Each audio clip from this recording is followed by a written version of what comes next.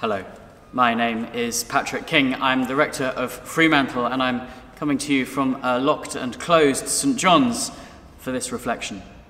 In the name of the Father and of the Son and of the Holy Spirit. Amen. Today is April Fool's Day. If only the situation which has driven all of our teaching and our worship and our reflections this Passiontide online was all something of a terrible prank. But sadly, it's not. And so we're all faced with, with the, the wrestling to proclaim Jesus' message of hope in new and different ways. More so than ever, hope is a vital message to our world, a reminder that we will smile and laugh and celebrate and feast again. In more normal times, on this day, a group of fools come to St. John's, each year seeking a blessing. It's a moment of brevity which often falls within the seriousness of Passiontide, in which I drench them with holy water and remind them that St. Paul says even the wisdom of this world is foolishness before God. If ever we are tempted to take ourselves too seriously, we benefit from the ministry of those who encourage us to smile and even perhaps laugh at ourselves. So here's the story of St. Simeon of Emesa, who lived in the 6th century. Simeon entered the gate of Emesa, now known as Homs in Syria, and after spending many years out in the desert with his great friend John of Edessa, dragging a dead dog. And the children chased after him and shouted, Look, here comes a, a crazy preacher, teacher man. The next day, a Sunday, he decided to go to church and entertained himself there by blowing out all the candles and by sitting throwing nuts at people. On his departure from church, he proceeded to overturn all the tables. Simeon perceived that his calling was to make people stop and smile and perhaps laugh by playing the fool. And this made him subject to insults and abuse and beatings, all of which he endured with his customary good humour. In spite of his seemingly strange behaviour, Simeon the Holy Fool healed many people by his prayer and fed the hungry and preached the gospel and helped needy citizens of the city.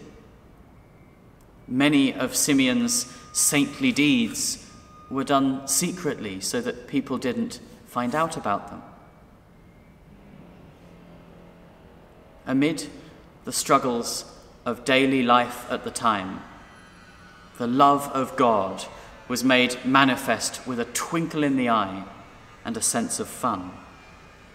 Today, we honour foolishness. We remember the brevity and light-heartedness our Lord shared with his friends, the ways he subverted social norms in his life and death and resurrection, and we bless those who continue the work of St. Simeon and all the holy fools down the ages, who remind us to smile and laugh even in the most serious of times.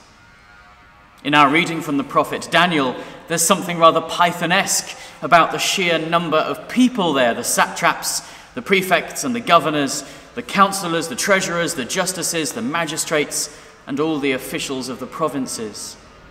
The sheer number of musical instruments the horn, the pipe, the lyre, the trigon, the harp, the drum, and the entire musical ensemble. And, sadly, the sheer blasting temperature of the furnace, which managed to polish off a few of the guards. And yet, amid this bleak, torturous picture, told with great humour, not even a hair on the heads of Shadrach, Meshach, and Abednego is harmed. The love, the power of God in a torturous situation is made manifest with a twinkle in the eye. This is ludicrous, Pythonesque, to be broadcasting daily from an empty and locked church and it is in the face of a bleak situation in our society and in our world. But it is important that we continue to be beacons of light and hope in our society. Perhaps April Fool's Day should well be a feast in the life of the church, to encourage us to live out our calling to bring hope in bleak situations and to make manifest the love of God with twinkles in our eyes. Let us pray. Holy God, who called your servant Simeon the Holy Fool to an eccentric ministry which upset the conventional rules but led many to faith in your Son, our Saviour Jesus Christ, who himself revelled in the upsetting of the status quo. Bless us, that on this day that we traditionally celebrate jolly japes and fun folly, we may all continue to experience joy and laughter even in dark times, as we strive to live in your word, your truth, and your freedom, that we may truly dwell in your love. In Jesus' name we pray. Amen. The Lord be with you.